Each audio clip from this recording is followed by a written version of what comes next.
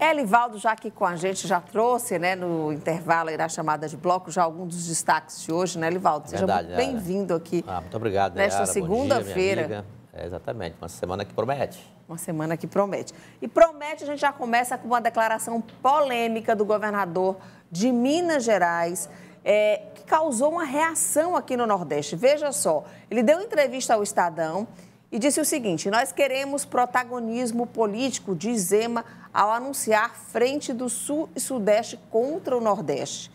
Zema anuncia essa frente e tem mais umas declarações né, uhum. durante essa entrevista que eu gostaria de colocar aí. Olha, o que, que ele diz é o seguinte: outras regiões do Brasil, com estados muito menores em termos de economia e população, se unem e conseguem votar e aprovar uma série de projetos em Brasília. E nós, que representamos 56% dos brasileiros, mas que sempre ficamos cada um por si, olhando só o seu quintal, perdemos. Ficou claro nessa reforma tributária que já começamos, já que já começamos a mostrar o nosso peso. Esse é um trecho da entrevista concedida ao Estadão. Temos feito o mesmo trabalho com os senadores de nossos estados. E o que nós queremos é que o Brasil pare de avançar no sentido que avançou nos últimos anos, que é necessário, mas tem um limite de só julgar que o Sul e o Sudeste são ricos e só eles têm que contribuir sem poder receber nada. E aí, nessa entrevista, trouxe alguns, algumas polêmicas e trouxe essa manchete aí, onde essa frente sul-sudeste seria contra o Nordeste. De fato, tem esse cunho mesmo? Ou foi só uma chamada, uma manchete para chamar a atenção, Elivaldo? É, imagino que não, né, Yara? A frente sul e sudeste é uma frente normal de organização de estados para buscar pautas comuns a esses estados, como existe aqui no Nordeste com o consórcio do Nordeste, com atuação aí muito forte na defesa da região. Então, até aí, até aí tudo bem. O problema da declaração infeliz e inoportuna do governador de Minas Gerais, um estado importantíssimo para o país, lá na região sudeste, grande população, é que a declaração foi de que deu essa conotação que seria uma frente contra o Nordeste, ou seja, frontalmente contra o Nordeste. Aí gerou essa repercussão toda de uma visão, digamos assim, separatista do governador de Minas, Romeu Zema, do Partido Novo. Agora, essa declaração, Neyara, foi tão infeliz que o próprio governador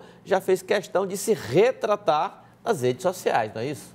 Ele fez uma publicação nas suas redes sociais, a gente tem inclusive o print dessa é, de como ele se posicionou diante disso, a união do Sul e Sudeste jamais será para diminuir outras regiões.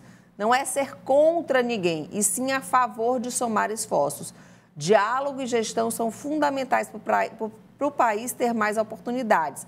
A distorção dos fatos provoca divisão, mas a força do Brasil está no trabalho em união. Ou seja, na, na postagem, ele segue dizendo que foi uma distorção dos fatos Uh, ou seja, em relação à entrevista mal, que ele foi mal, foi mal interpretado. Tanto é que não só é, os governadores da própria região, o governador é, Casa, Casa Grande, é, lá de Renato Casagrande, do PSB do Espírito Santo, reagiu. O governador Eduardo Leite, do PSDB lá do Rio Grande do Sul, discordou do colega, governador da região lá de Minas Gerais. E no Nordeste, então, nem se fala a reação. O governador do Piauí, é, Rafael Fonteles, não é, Neyara, também é, é, manifestou uma reação contrária e protestou em relação ao que disse na primeira manifestação o governador Romeu Zema. Inclusive, postou nas redes sociais Nas redes dele, né? sociais. Né? Vamos ver o print do governador Rafael Fonteles, que ele postou em sua rede social.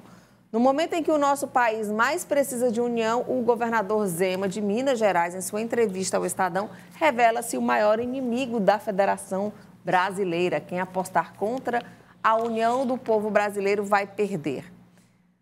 Até porque essa declaração ela, ela acaba sendo inoportuna no aspecto até mesmo, eu diria, de discussão de temas relevantes que estão ainda é, precisando de definição no Congresso Nacional. E aqui eu cito a reforma trabalhista, não é? onde o Pacto Federativo, que é exatamente essa integração municípios, estados e União, através da divisão de impostos, arrecadação e divisão, está em debate numa fase já bastante adiantada. Então, o que se espera é que a poeira baixe e que realmente o sentido da nacionalidade, de contestação de toda e qualquer iniciativa separatista do, do país não prospere. Essa é a nossa expectativa, né, Nayara? Essa é a expectativa. E, de fato, o Brasil é um país, é, é o único país. todo mundo, né? Exatamente, todo é de mundo. Todos os brasileiros. Exatamente. Bom, vamos falar agora de uma decisão de ontem à noite do PT. Vamos falar agora de eleição municipal em Teresina.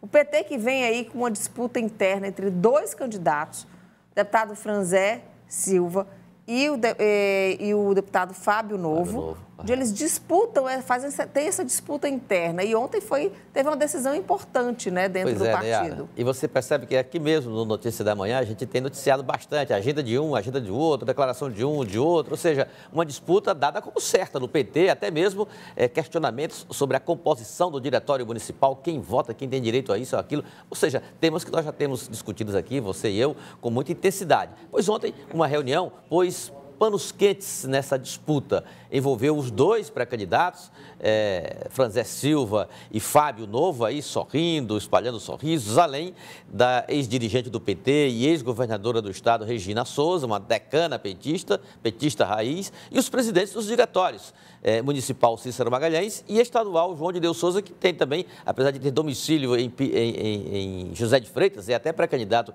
em José de Freitas, mas ele tem fortes ligações aqui com Teresina, já foi até vereador aqui em Teresina. Então, o sentido dessa reunião qual foi?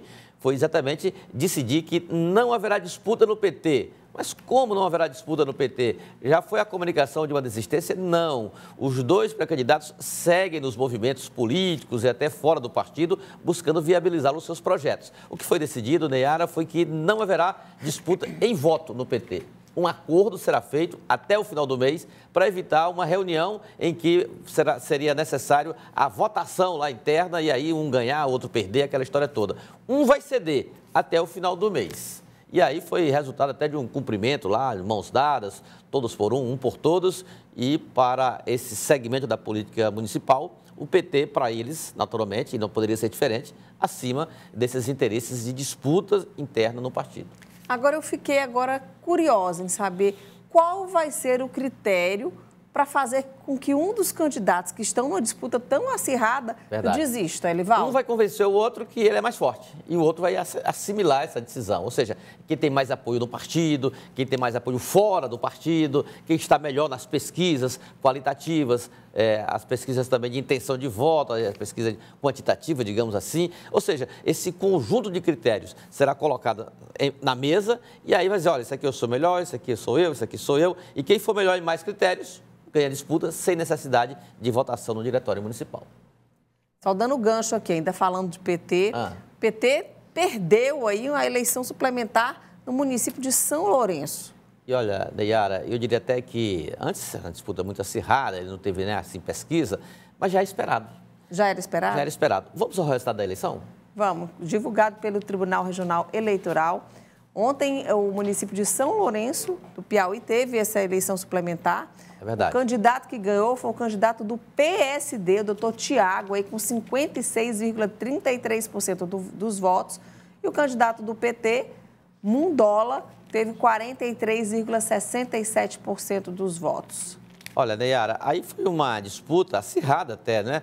Foi 2.500 votos, mais ou menos, 2.400 votos contra 1.700 votos, 53% a, 40, a 43, 56 a 43%. 10 pontos percentuais de vantagem. Uma vantagem até é, relevante mesmo com esse equilíbrio, uma eleição muito polarizada. De um lado estava a situação, ou seja, o grupo que já está no poder lá no município de São Lourenço do Piauí. Formado pelo PSD, o prefeito Biraci foi caçado, mas o presidente da Câmara, ligado a ele, é que estava à frente do poder no município, se aliou com progressistas, uma legenda forte também em todo o estado, e lá na região também da mesma forma, formaram uma, uma, uma coligação da situação muito forte. Na oposição ficou a federação, PT, que é o PCdoB, o PV, com uma chapa quase, digamos que pura. Então, não, era fácil essa disputa é, de, de, poder lá no município, pequeno município, mas importante da região de São Raimundo Nonato. Raimundo Marques, o Mundola, perdeu essa eleição exatamente por isso. Ele enfrentou uma, um grupo muito forte lá no, no, município. E por esta razão, eu diria até que, ah, mas o governo, o, partido do governador, mas ele não se envolveu nessa disputa. Você chegou até a comentar é, isso. Não se envolveu. Eu, eu, procurei checar essa informação e, de fato, ele não se envolveu é, dois aliados disputando, o partido dele o partido aliado. Então, ele deixou que o município, que se encarregou, a realidade local, de se articular daquela forma, decidiu soberanamente e lá foi melhor a chapa comandada pelo PSD. Quem comemora bastante essa eleição lá é o deputado Georgiano, é, que é o Georgiano Lima, Georgiano Neto, que, que é o, o filho do, do, do, deputado Júlio César, presidente do PSD, Jorgina é do MDB. Mas é um MDB PCDista, né? Comemora bastante o resultado dessa eleição e agora é a vida que segue, lá e no Estado também. Ok, Elivaldo. Bom, Elivaldo, gente, ele ganhou um presente. Eu gostaria de compartilhar esse presente que o Elivaldo ganhou Opa. e recebeu aqui no estúdio nessa manhã. E eu tomei um susto pois com esse é, presente que ele ganhou. Traz Vamos o presente aqui? do Elivaldo aqui, por favor. O, o Elivaldo, que é agrônomo. O gigante Ed traz um, algo Olha gigante. o presente Olha só. que ele ganhou. Eu pensei gente. que fosse uma jaca. Eu pensava que era uma, uma abóbora, um gerimum. É. Pois Só é. que não é. Diz o que, que é isso, Elivaldo? Gente, isso aqui é uma laranja. É uma laranja da terra, como ela é mais conhecida, uma laranja gigante. E eu pensei que fosse assim. Eu e a Neyara, né? Ela também ficou espantada. Disse, olha, só foi essa aqui que deu lá no pé de laranja? Não. Deixa eu ver aqui. Tá repleto. Olha, bote Gente, força. olha o tamanho. Olha, olha aí. Esse, é um pé de laranja, diz que é cheio de laranjas desse, desse tamanho. Olha só olha a foto isso. ali. Olha lá. Que coisa. Olha e, e dá para comer essa laranja, Ed? Isso é uma jaca, não é não? Isso é um pé de jaca. Pois é, Nayara, é uma laranja incomum, tem, né? Tem, tem, tem, tem água essa laranja? Gostosa, ela é roxa por dentro. Diz que é roxa por dentro. Produção, vamos fazer uma reportagem sobre esse pé de laranja. Vamos lá. Será é, destaque, olha o tamanho disso, Será gente. destaque do Piauí que trabalha no final de semana, viu? Com certeza, vai ser o principal olha destaque. Olha isso, vai fazer Matéria uma especial. de suco, ó, só uma suco, laranja. Mas essa, é, essa laranja... A casca é o quê? Para doce. Faz doce. É... A casca faz doce, diz que a laranja é, é roxa por dentro, tem muito líquido e eu pensava que tinha sido só uma laranja que tinha dado no pé, mas vocês viram que, todo, a, que a árvore aí tem muita laranja dessa. Mega Como é que é o nome? Laranja? Laranja da terra. É uma laranja. Ela, é, Toma, apesar, apesar de Gente, ter. Isso aqui pesa mais de um ah, quilo, com apesar certeza. De, de ter é, líquido, fazer suco, aqui dá para fazer uma lata de suco, né? Mas ela, ela, ela, é muito usada mesmo para doce, né? Na água indústria de doce, doce de laranja, da casca da laranja. Muito bom, muito gostoso, da laranja feita com isso aqui. Então haja doce também para fazer. E por que, que você só trouxe para o Elivaldo essa Não, laranja? Aqui é sua, faça, já repassa essa doação. É porque você, era é uma produtora de laranja. A Fazenda Vista Alegre, é, ela, ela, ela, a Fazenda Vista Alegre, ela é referência na citricultura, especialmente na produção foi, de laranja. Foi referência. Hoje a gente não tem mais laranja plantada é lá, mas é, gostei de ver, viu? Gente, é, Elivaldo, queria te pedir, segura a laranja, oh, senão vai, não, o Elivaldo vai fazer academia já agora, já segurando essa laranja já. Ei, então é minha agora essa é laranja. Sua? Ela vai ser minha essa laranja. Vai plantar na Vista Alegre. Vou plantar, e aí eu vou, eu quero plantar. lá. Então vamos lá. Elivaldo, eu queria pedir para você continuar aqui. Ah, com certeza. Um prazer. Porque